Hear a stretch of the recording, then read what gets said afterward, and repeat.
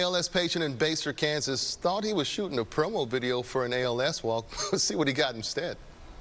Team Gleason Foundation has chosen you, Craig, and your family to go to Arizona to watch your Kansas City Chiefs no in the Super Bowl. No All right? way. You all are going to the Super Bowl. You're kidding me. Oh, I, am speechless. I, I, I don't even know what to say. This is an... That's awesome.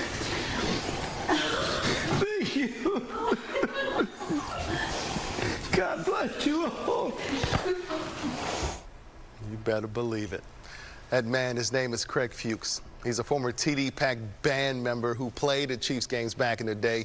He was diagnosed with ALS last year. The Team Gleason Foundation contacted the Chiefs all to find a fan living with ALS to send to the Super Bowl, and that's how they got connected with Craig's family. Team Gleason, by the way, started by Steve Gleason, a former New Orleans Saints player diagnosed with ALS in 2011. A huge congratulations to Craig and his entire family on this once-in-a-lifetime opportunity.